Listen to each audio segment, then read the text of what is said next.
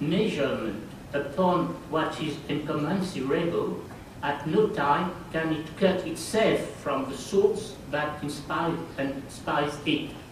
In much the same way as the extravagant hypothesis, the effect of anarchy is to place the state in a multidimensional space in which it finds itself torn between the extraordinary intrigue from which it proceeds and the ends it pursues, namely justice.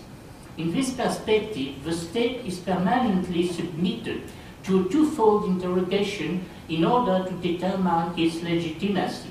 On the one hand is the form of human coexistence established by the state in continuity with the original intrigue.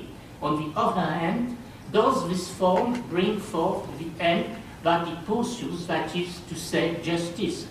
Moreover, this conception is oriented toward a sovereign yet descended state, a state that is submitted to the determinism that are proper of the centrifugal movement to the extent that an otherwise oriented effective is superposed on the institution.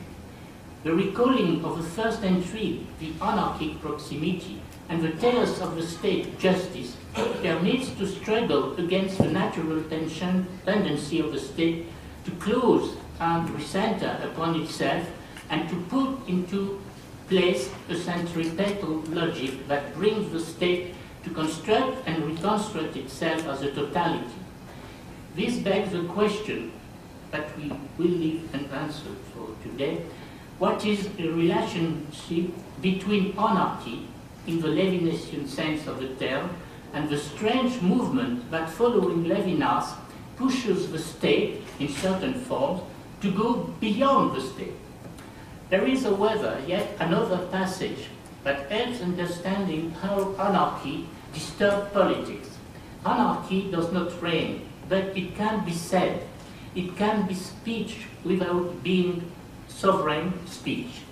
It must be careful not to lose its ambiguous status of an enigma that can manifest itself without unveiling.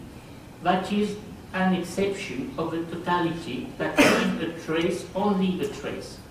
This way of passing, I quote, disturbing the present without allowing itself to be invested by the arche of consciousness, creating with its furrows the clarity of the ostensible is what we call trace to this saying as a saying that contains the dimension of one for other is recognized the faculty of disturbing the state, the, the archistate. It disturbs the state in a radical way. That is to say, by shaking the state in its roots, in its foundation.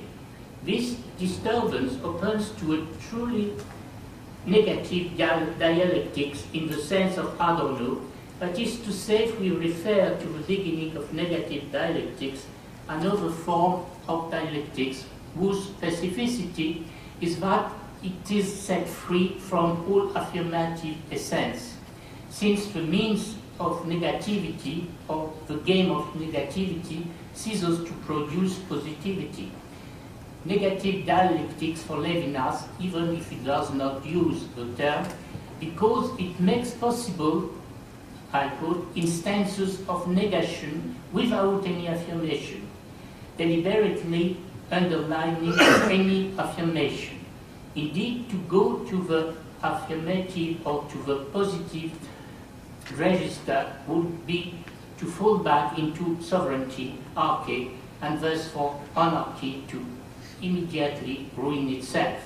Only moments, but crucial moments, that in their own fragility, in their non-installation in time, hinder the political manifestation of arche, that is the possessor of sovereignty and reign as a totality, as a mortal God.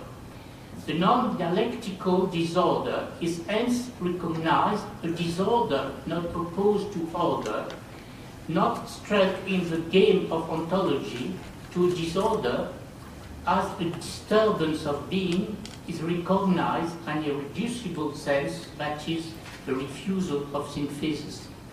Does this seed of folly, does this trace not come back to what Hegel criticized as Jewish folly, the attitude that refuses that universal history be the tribunal of the world, the thought that opens to an exteriority of history, that is the space where one can judge it, the space within which it is possible for a saying to affirm against the state that the totality is the non-truth.